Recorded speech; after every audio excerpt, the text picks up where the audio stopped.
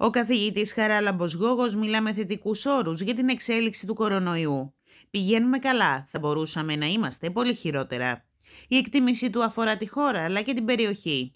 Η χθεσινή ημέρα ήταν ήσυχη για το Πανεπιστημιακό Γενικό Νοσοκομείο Πατρών. Κατά από δέκα ήταν τα σοβαρά κρούσματα που τελούν υπονοσηλεία στο νοσοκομείο, ενώ έχει βελτιωθεί η υγεία του δημοσιογράφου που γνωστοποίησε αυτοβούλο ότι νόσησε. Σύμφωνα με τον κύριο Γόγο, γύρω στις ημέρες του Πάσχα θα έχουμε μια εικόνα του χρόνου για τον οποίο θα μπορούμε να συζητάμε για αποκλιμάκωση του συναγερμού. Ο καθηγητής δεν έχει να πει κάτι παραπάνω γι' αυτό. Είναι απολύτως πρόωρη οποιαδήποτε εκτίμηση. Συμφωνεί πάντως ότι ο εγκλισμός των πολιτών δεν είναι ευχάριστη κατάσταση, σωρεύει άλλα ζητήματα και θα πρέπει κάποια στιγμή να αρθεί.